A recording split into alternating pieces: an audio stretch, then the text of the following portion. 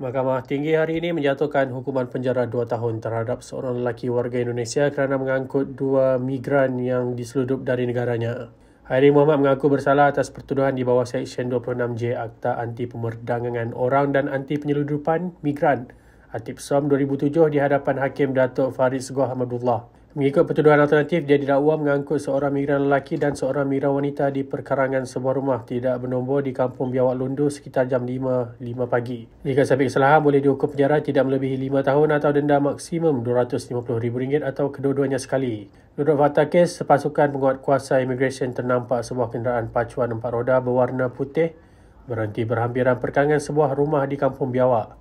Kemudian penguatkuasa tersebut menahan kenderaan itu dan hasil pemeriksaan mendapati tertuduh mengangkut pendatang tanpa izin parti. Selain itu, semakan pada rekod keluar masuk migran menunjukkan terdapat rekod lama kemasukan kedua-dua migran itu pada 26 Februari 2020. Hasil siasatan mendedahkan bahawa Hairi adalah pemandu yang mengangkut kedua-dua rakan senegaranya masuk ke Sarawak. Pendakwaan hasil dikendalikan oleh Timbalan Pendakwa Raya Kong Siu Cho manakala tertuduh tidak diwakili peguam.